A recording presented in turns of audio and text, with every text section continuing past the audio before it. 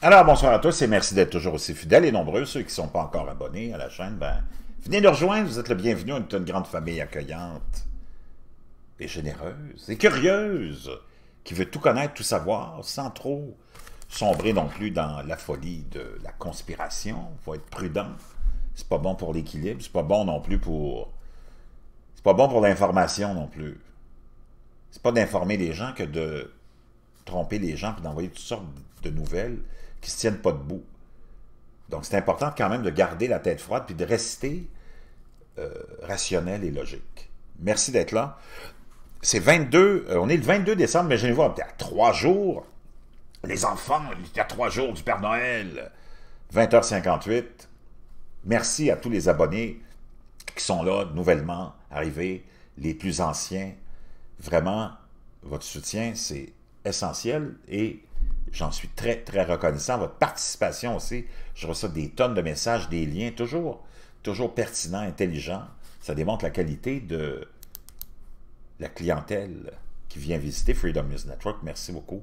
Une nouvelle vraiment extraordinairement inquiétante qui nous vient des États-Unis, plus précisément de Détroit, dans le Michigan, où on vient de signaler une vingtaine d'heures, on a observé, puis vous, vous allez le voir sur l'image, une espèce de, matière, on appelle ça en anglais le slime, du slime. Hein? Ceux qui ont des enfants, vous savez c'est quoi du slime? Une matière gluante. Bien là, on vient de voir une vase verte, et c'est officiel, on l'a enquêté, on l'a étudié rapidement, cancéreuse, qui suinte. On a été obligé de fermer même plusieurs secteurs qui suintent de l'autoroute.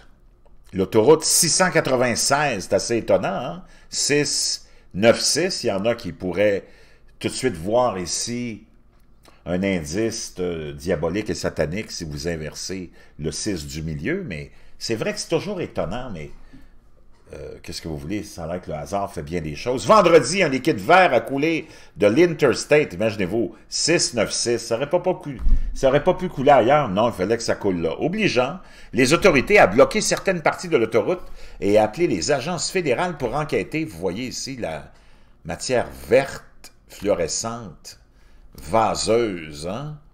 un slime. Samedi, on a découvert que le mystérieux liquide était le chrome chimique hexavalent et qu'il fuyait d'une entreprise locale, a déclaré la police de l'État du Michigan sur Twitter.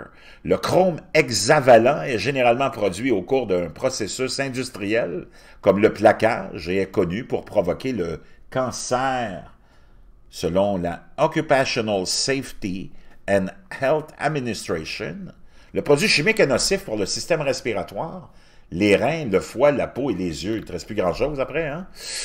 Le produit chimique fuyait du sol ou du sous-sol de l'entreprise locale dans le sol et est allé dans un drain qui s'est vidé sur l'autoroute, la, fameuse I pour Interstate 696. Encore là, ça ne pouvait pas tomber plus bizarrement, mais qu'est-ce que vous voulez, c'est ça, là? En direction Est, a tweeté la police, si le liquide n'avait pas été découvert, il aurait pu se retrouver dans le lac Saint-Clair. Est-ce qu'on peut parier, sans se tromper, qui est déjà allé dans le lac Saint-Pierre avant aujourd'hui? C'est sûrement pas la première fois. C'est juste qu'on vient de se rendre compte qu'eux autres, ils libèrent ces produits-là puis qu'ils n'en ont rien à branler. Il faut vraiment prendre les jambes des cruchons, là, tu sais. A déclaré Candice Miller, commissaire aux travaux publics du comté de Macomb. Si une entreprise a le culot de laisser couler ça aujourd'hui, puis ça, ils se font attraper parce qu'aujourd'hui, on a vu que ça s'était faufilé. Euh, pensez-vous que c'est la première fois qu'ils font ça? Franchement. Mais quand as affaire à des populations naïves, c'est ça que ça donne. Hein? L'Environmental Protection Agency, la fameuse EPA, a indiqué qu'une fois le produit chimique évacué par le drain, il s'est figé en une goutte jaune, a tweeté la police. Le plan d'élimination du produit chimique consiste à apporter un type d'excavatrice à ramasser les déchets gelés et à les placer dans un conteneur sûr. Les responsables l'ont déclaré à l'affilié de CNN WDEV ou IV TV à cette chaîne locale qui appartient à CNN que le processus de nettoyage pourrait prendre plusieurs jours. Nous avons nettoyé les égouts et nettoyé les drains entre l'installation et la fameuse route. Eh oui, 696, qu'est-ce que vous voulez? A déclaré Jill Greenberg en plus. C'est une matière verte, puis il faut que tu aies un Greenberg plus le 696, tout ça dans la même phrase. Pas dire une chose, les conspirationnistes, ils vont partir, pas juste un peu, sur une conspiration. Enfin, porte-parole du ministère de l'Environnement du Michigan, M. Greenberg, imagine-toi, avec une slime verte qui, a, été découverte suintant sur l'autoroute 696. Je peux te dire une chose, on n'est pas sorti de l'auberge, on va en entendre parler longtemps. Nous sommes également en train de nettoyer le sous-sol de l'installation. Tricia Edwards, avec la, fameuse EPA, hein, c'est le ministère, disons, c'est l'équivalent d'un ministère de, l'Environnement ici au Québec ou en France, a déclaré que le nettoyage va prendre du temps car il y a beaucoup d'argile dans la région et que la substance se déplaçait sur l'argile. Ah tiens, ça va prendre beaucoup de temps. Pas juste une petite fuite, là. Puis c'est pas nouveau. Le chrome hexavalent, également connu sous le nom de chrome 6, bon, fallait qu'ils mettent le, chiffre 6 en plus.